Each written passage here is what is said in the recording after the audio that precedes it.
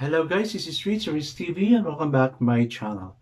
But before we start the devotional guys, I would like to shout out the following personal channel. Yans TV, Michael Aborita, Likap TV, and Abiar, Devs Villa, Pamilya Lagan Channel, Jarby POB, Yuga Coteco, sa Motsarin Blog, It's Mami Rose, Heart Ponsalan, and Patnon Blog.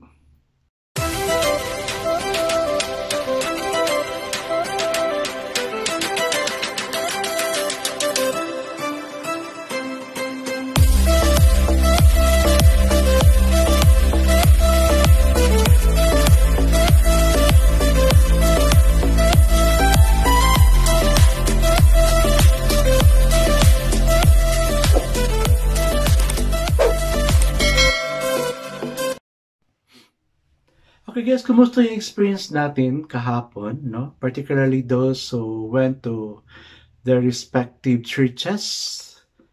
Yung mga church kahapon may ginagawa, so ngayon medyo uh, pahinga tayo, no? For in preparation also for tomorrow's activity para sa Easter Sunday. Okay guys, let's now proceed to our devotional. Let's open our Bible to Hebrews chapter 10 verses 19 to 25.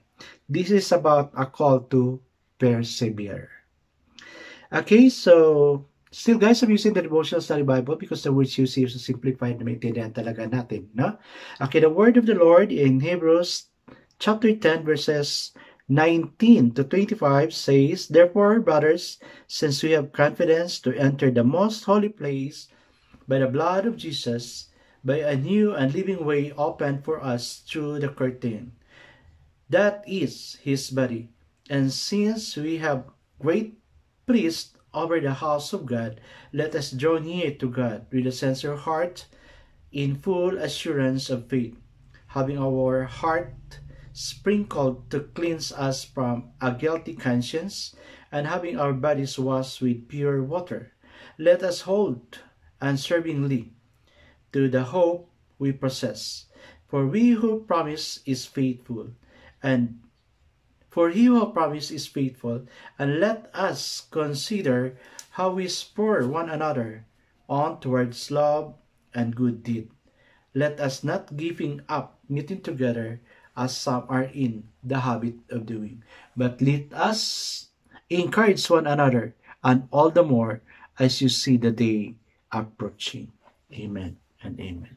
I guess let's not pray Yes, Lord God, we thank you, to God, for that inspiring uh, word na binigay mo sa amin, oh God.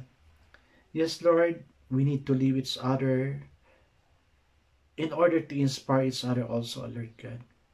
Lord, lalo-lalo na yung mga may problema na hindi kami mawalan ng hope, but instead, you are our hope, O God. Napakaganda ng word mo, O God, na sinabi mo. Let us consider how we spur one another on towards love and the good deeds. Yes, Lord God, teach us to do it with love. Yes, Lord, lead us as we study of your word. Be on our midst, O God. In Jesus' name pray. Amen and amen. Okay, guys, so our focus verse for this evening is found in Math, uh, Hebrews chapter 10 verses 19 to 22 ang haba no? But we I'll just ano a shortcut it. Since we have confidence to enter the most holy place by a new and living way let us draw near to God. Amen. Let's really draw near to God. Okay so the title of our devotional for this evening guys is contained up. As my flight reached crossing speed the flight attendant pulled back the curtain that cordoned off first class, and I was given a startling reminder of the stark differences between areas on airplanes. Some travelers get to board first, enjoying premium seating with extra legroom and personalized service. The curtain was a humbling reminder of my separation from those perks. Exclusionary distinction between groups of people can be found throughout history, including, in a way, even God's temple in Jerusalem, though not due to one's ability to pay more. Non-Jewish people were only allowed to worship in the altar court. Next came the woman's court, and even closer, an area designated for men. Finally, the Holy of Holies seen as the place where God uniquely revealed himself was concealed between a curtain and only accessible to one consecrated priest each year. But wonderfully, this separation no longer exists. Jesus has completely eliminated any barriers that might hinder anyone's uh, seeking access to God, even our sins, just as the temple curtain was turned into two at the moment of Christ's death. He crucified, his crucified body was turned over all obstruction to God's presence. There is no barrier that needs separate any believers from experiencing the glory and the love of the living God. Amen and amen. Yes guys, no, ang ganda ng ano ng opportunity na binigay ni Lord. Kasi yung temple is divided into three, no? Uh, divided siya ng three. Like for example, uh, i-drawing ko na lang to. Uh, okay. Let's consider this as a temple. 3. This is the holy place, holy place, no? Most holy place and then holy of holies. Okay, yan yung drawing ko. Dito guys, ang holy place, ang mga kano dyan is, ang dami pang rituals na ano, uh, kortina lang yan, no? Uh, rituals na gagawan dyan. So, you cannot enter the holy place not unless uh, your sins are all forgiven. No? And then, ang most holy place, all the more, very strict siya. And then, only the priest is allowed, no? Na makapasok doon sa Holy of Holies. Kaya curtain ang ginagamit nila kasi pag may kasalanan yung tao na pumasok doon, hihilahin nila nila kasi patay ka talaga doon. No? Okay. Only the priest can enter into that tabernacle.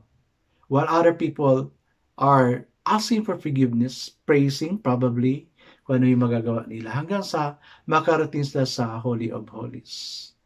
Very strict to si Lord. No? Very strict to si Lord. Kaya, nung namatay si Lord, the curtain was turned. No? Ito. Cortina lang kasi ito. Tsaka ito. Napunit ito na at this time we can now enter into the most holy place in the presence of God. No? Kaya nga eh, we can, we can directly pray our concern to God because He's already there listening to us. It was an opportunity given to us by God na mamit natin siya sa Holy of Holies niya through our prayer.